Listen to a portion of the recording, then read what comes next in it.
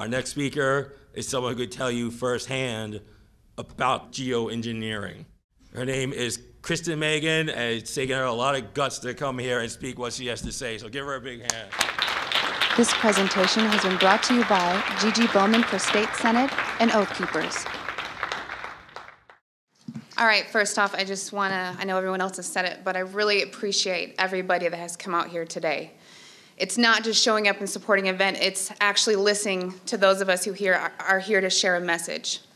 So, as it was presented to you, I'm here to speak to you about geoengineering. First thing I want to ask you is who doesn't believe it exists? Anybody here on the fence? Okay. Well, hopefully, when you leave here today, you don't just believe it, you share the information that I'm going to share with you, and you get more people on board to stop this ethical crime, unethical crime.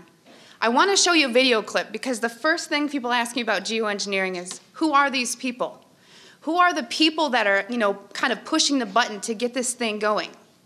One of them, his name is David Keith. And David Keith has been low in the radar for a while. But he has written a book about climate engineering that has basically done more for the truth movement of this than anything. Because he is the frontline person that is the number one advocate for geoengineering. And I want to show you a clip. It's about six minutes, so just bear with me. You ever look those planes up there? They have contrails on them. Maybe all those planes are the contrails. Maybe they're actually spraying chemicals into the atmosphere right now, and Uncle Sam isn't telling us. Seems extremely unlikely. The fact that the United the government... States is not telling something to its citizens, that seems extremely likely to me. Read the newspaper. Uh, and of course, there are a lot of problems with what they're proposing. It, it turns out plants need uh, sun, sunlight. Yes.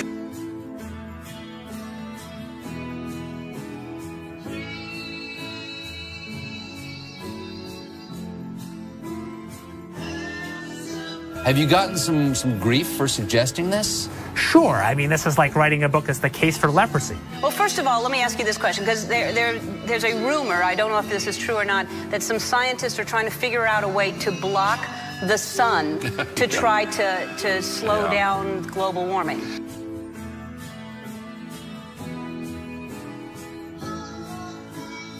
Could an individual start this? In practice, only a country. A okay. Country. What about a man in like a hollowed out volcano with henchmen who occasionally shakes his fist at the sky and says, They said I was a fool at Harvard. Who's the fool now?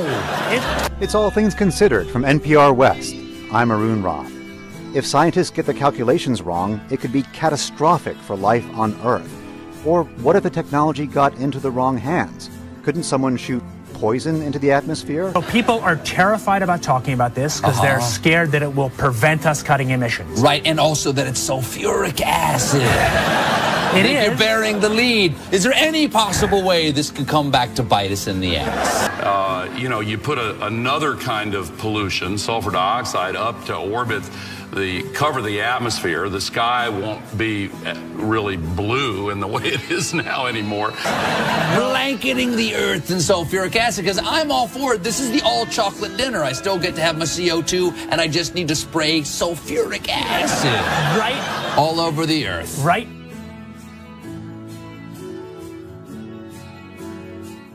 But we put 50 million tons of sulfuric acid in the air now as pollution, and it kills a million people a year worldwide. Okay, and that's and so good or bad? It's terrible.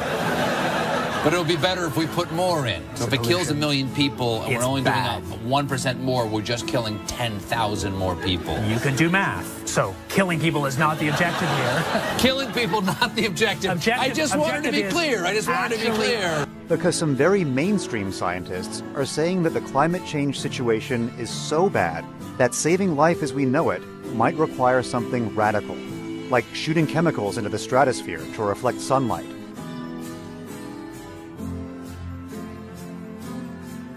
This is the kind of stuff I wake up sweating about. Exactly. Well, it's your goddamn idea. No, it actually turns out to be an old idea. This really? was known since President Johnson, and the scientific community mostly decided not to talk about it. It, it, it. What happens to the sulfuric acid after it's sprayed? Does it just stay up there? No, it rains down. Okay. But, it, but as I said, it rains down. Okay, okay. It's a tiny addition. Okay. And you put you'd put, say, 20,000 tons of sulfuric acid into the uh-huh. stratosphere every year, uh-huh. and each year you have to put a little more. Mm-hmm. And this doesn't, in the long run, mean that you can forget about cutting emissions. We will need to rein in No, emissions. we'll get to it eventually. Yeah. But it But in the meantime, we're shrouding the earth in sulfuric acid. So it is that you could actually spray sulfuric acid in the stratosphere 20 kilometers over our head and use that to stop the planet warming up in a Okay, kind wait. of so ugly you, tech fix. You could you could spray something into the atmosphere to Yes. change. Okay, spray okay. pollution into the atmosphere to stop it warming. So in the end, pollution saved them all. we owe pollution. We owe acid rain an apology, It is what you're saying. a totally imperfect technical fix. Okay. It would have risks. It wouldn't get us out of the long run need to stop polluting, but it might actually save people and be useful. Sky won't be uh, really blue in the way it is now anymore. that chemtrails are being used in conjunction with HAARP. By spraying metal oxides into the air above enemy skies, then directing ELF waves from HAARP to heat those metal oxides, the temperature of the sky is raised to more than 100 degrees Fahrenheit, preventing the accumulation of water vapor that would otherwise form clouds and produce rainfall. I wanted to see that video because I wanted to have a face for somebody who's actually out there violating the ethics of their job to promote geoengineering. I'm going to talk about geoengineering, but I want to share a story with you. Every time I'm asked to speak, I, I'm a, I public speak for a living. Um, I'll go into that, but I don't get nervous to speak to you.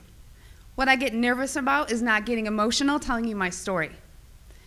Because in 2002, shortly after 9 11, like a lot of military veterans, I raised my right hand and I took an oath to the Constitution to hopefully do something meaningful with my life.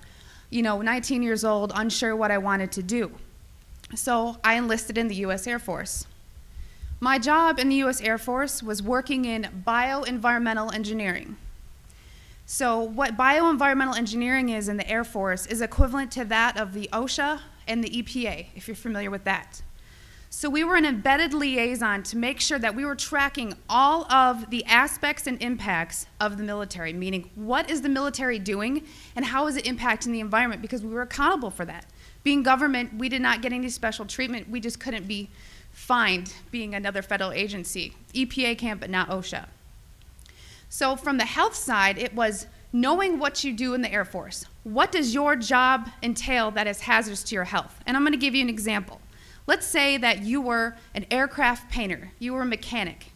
My job would go out to make sure I knew everything that you did, what you were exposed to, and how to mitigate and engineer out those hazards. Because we needed to, one, it, it's your legal right to be working in a safe and healthful work environment. So throughout nine years, I worked as an industrial hygienist and an environmental specialist. One of, actually, there's two bases I was at that are called air logistics centers. What does that mean? It's not like a fighter wing, you know, it's not really fun and amazing. What they did is they took aircraft that around every 10 to 15 years, they were required to be dismantled down to the last screw.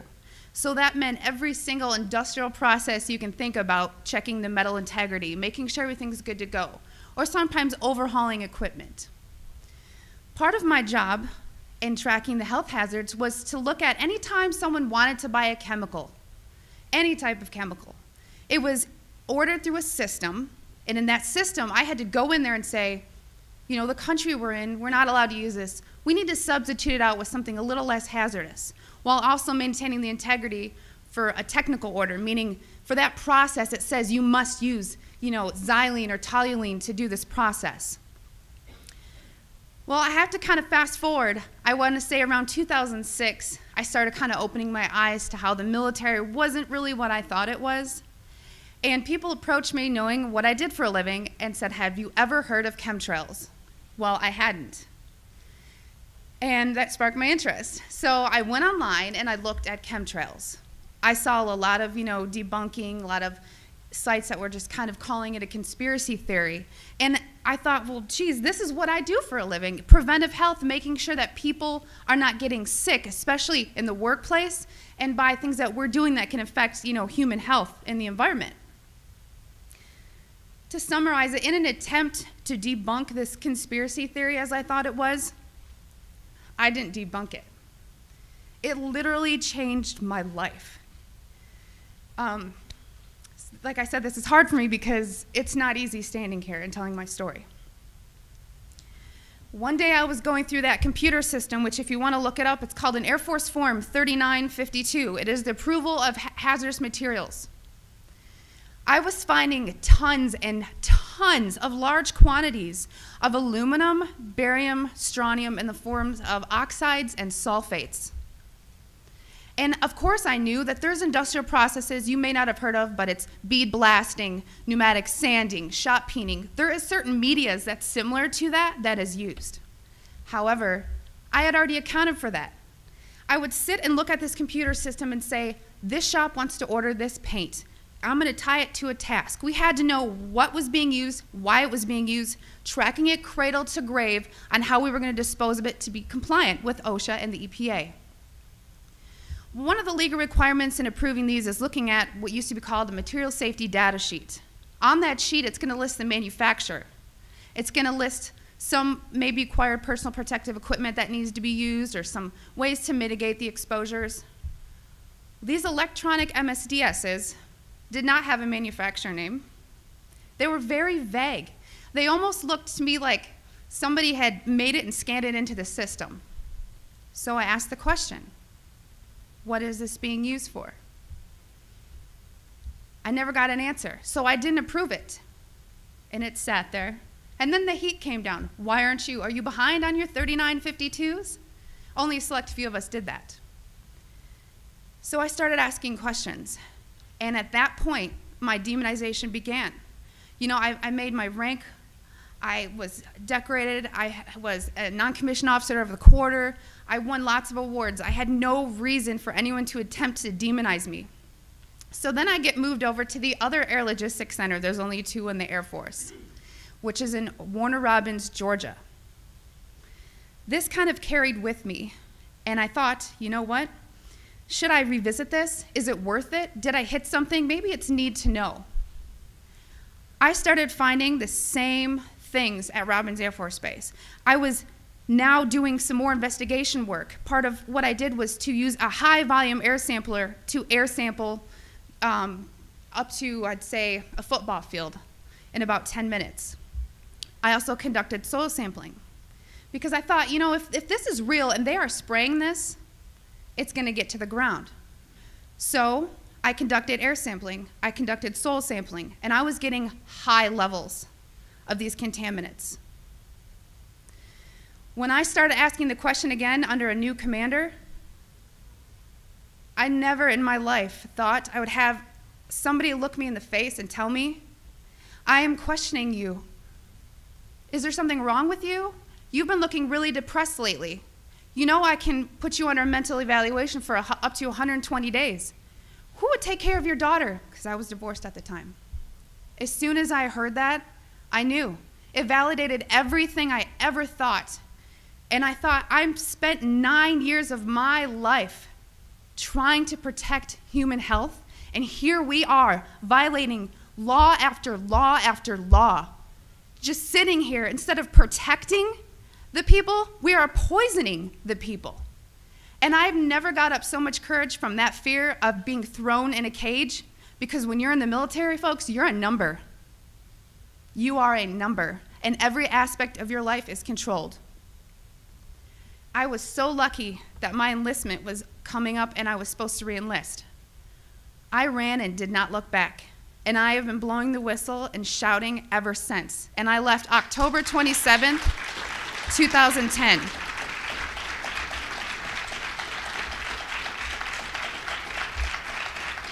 Thank you. It didn't just end there, though. You got to remember there's a whole career field of people that work in bioenvironmental engineering. A lot of those people were told, do not talk to me. Do not talk to her. Do not email her. They were given no contact orders. Because my biggest thing was if I'm just so, you know, dishonest, don't you think somebody would come out and say, you know, she was never in the military or something negative to discredit me? They've ignored me, but they've tried to silence me. Every time I fly, I am pulled into a secret room. I, I literally am tagged in the system for the TSA. It is difficult. As an industrial hygienist, I do very well for myself, but it has been so difficult after leaving the federal government to maintain employment. Nowadays, everyone runs background checks on you, and the first thing they look at is, wow, here's a whistleblower. And you ask yourself, if this is true and we are spraying the people, where are the pilots? Where are the people? I don't know if you pay attention, but look at Snowden. Look at, look at Manning. People don't come forward because these supposed Whistleblower Act protections that you have are not enforced, they're not supported, and they really don't exist.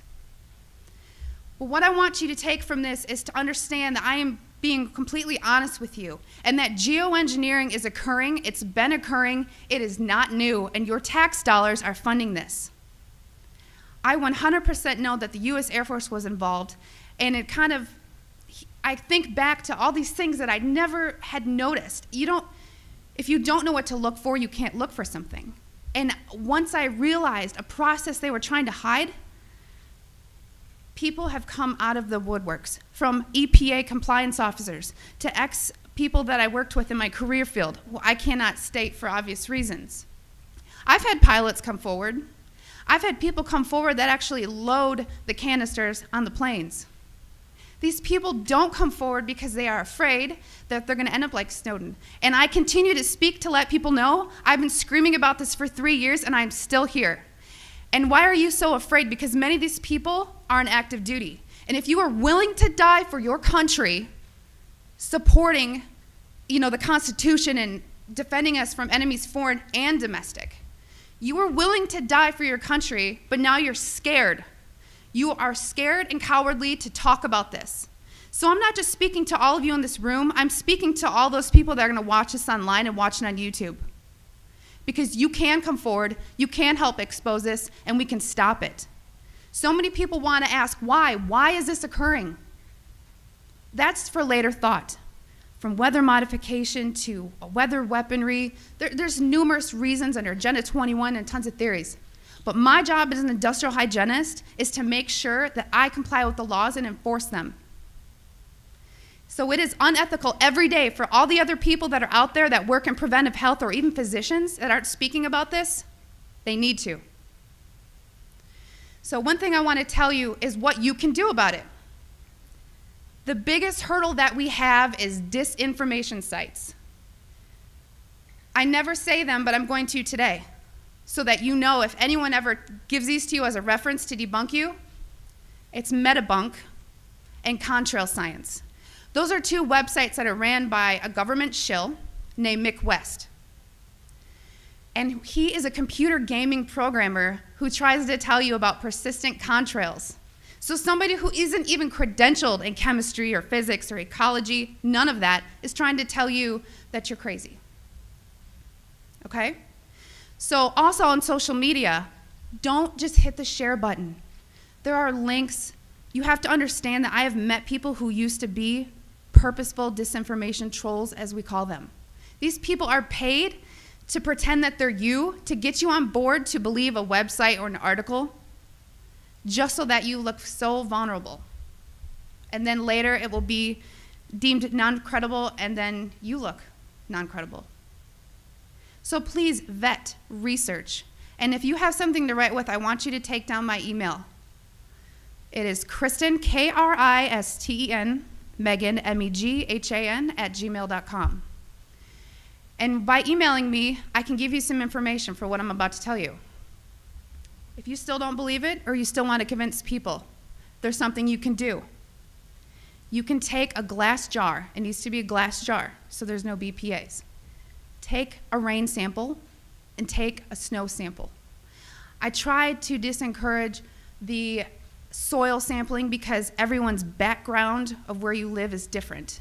Because a lot of the materials that are used in geoengineering are natural occurring in Earth, just not in the industrialized form that they are used. So if you take these rain samples and you take the snow samples, email me because I cannot publicly tell you where to send them because we've actually been blackballed by labs who refuse to run our samples. And a problem that is occurring is people are sending in rain samples to labs that don't realize how low the limit of detection needs to be because these are nanoparticulates. They are very small. So if you email me, I can tell you where to send in your samples, and it's only around $50. That may be tough on some people, but it's way cheaper than maybe what you assumed.